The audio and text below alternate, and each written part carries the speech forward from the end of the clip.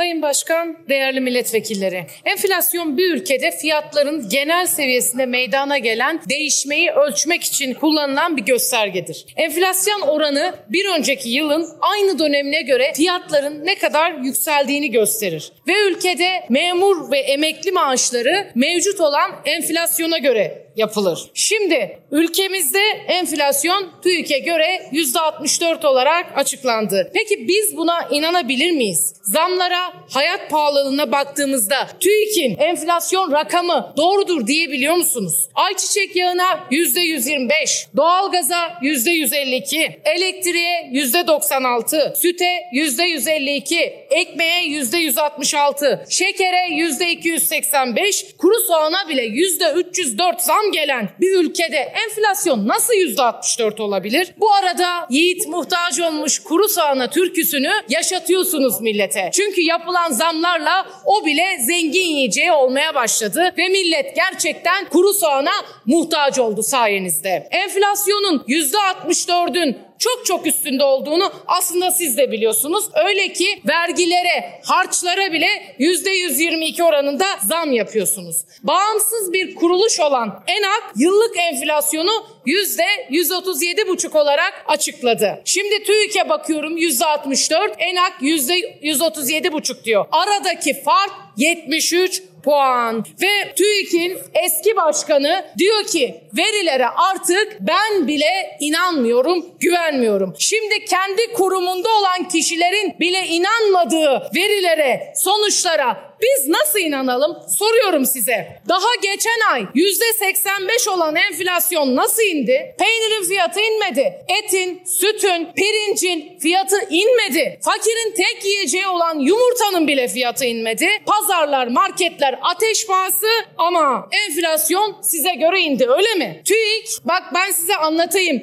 nasıl indirildiğini. TÜİK resmen emeklinin hakkını vermemek için talimatla rakam belirledi. Ve tek kişilik hükümet çıktı memura emekliye yüzde otuz zam veriyorum dedi. Buna da başta Sarı Sendika olmak üzere iktidar vekilleri böyle alkış tuttu. Bu Türkiye'nin utanç vesikasıdır. Utanç.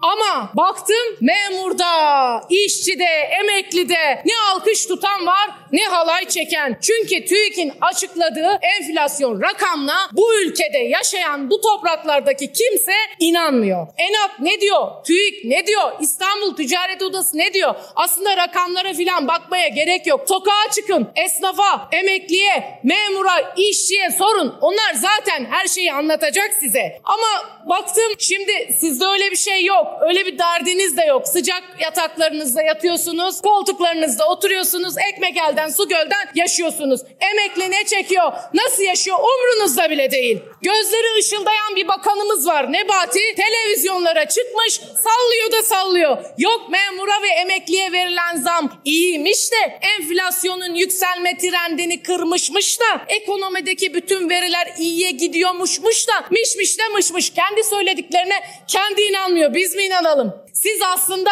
enflasyonun belini kıracağız deyip de emeklinin belini kırdınız bu ülkede. 3 milyon 650 bin memura ve 13 milyon 900 bin emekliye sadece yüzde otuz öyle mi? Bakın milletin emeklisi ülke ülke gezip tatil yapıyor. Bizim emekliler market market gezip ucuz ürün arıyor. Soran olursa da Avrupa bizi kıskanıyor öyle mi? Enflasyon iş, vergiye, harca, zamma gelince üfe, iş, memura, işçiye ve emekliye gelince tüfe, iş, paylaşıma, bölüşüme gelince küfe. İtibar itibar deyip duruyorsunuz ya. Bakın itibar saraylarda oturmakla değil halkın insanca yaşamasıyla olur. Emekliye yüzde otuz diye müjde verip de yandaşlarına üçer beşer maaş bağlayanları memurlar ve emekliler yüzde yüzle sandığa gömecek. Bugün emekliye memura reva görülen bu zam utanç zammıdır. En düşük emekli maaşı 5500 lira. Oradan İbrahim Bey gülümsüyor.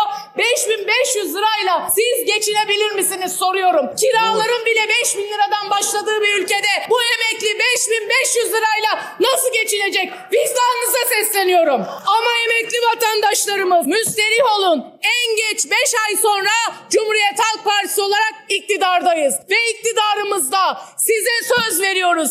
Andolsun ki en düşük emekli maaşı asgari ücret tutarında olacak. Hiç merak etmeyin. İşçiyi son yüzyılın en kötü durumuna düşüren, memurun satın alma gücünü yok eden, emekliyi açlığa mahkum eden AKP'yi silecek ve bu seçimde Cumhur İttifakı olarak alacağınız oy oranı emekliye reva gördü.